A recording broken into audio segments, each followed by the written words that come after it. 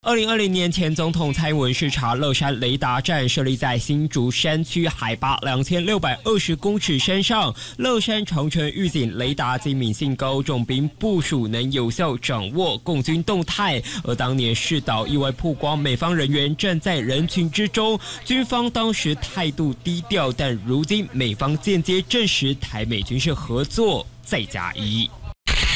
从美国司法部日前曝光飞弹雷达采购弊案新闻稿中，相当明确指出，雷神证实我国军在长城预警雷达站派遣人员的合约上扭曲成本，收取过高费用，证实了一份合约收两次钱。这段文字内容等同间接证实美方派员助战操作雷达。美国的这个雷神公司，它的相关的呃类似雷达追收中。都会配附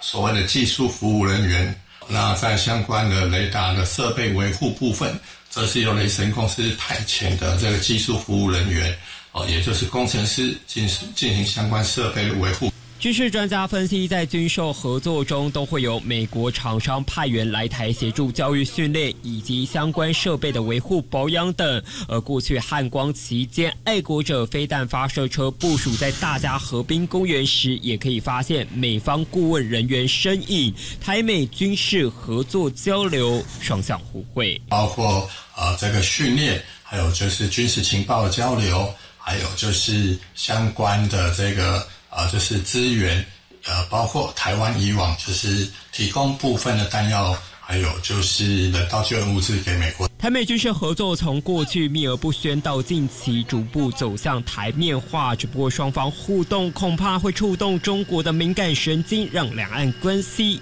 更加紧绷。东森新闻真中心综合报道。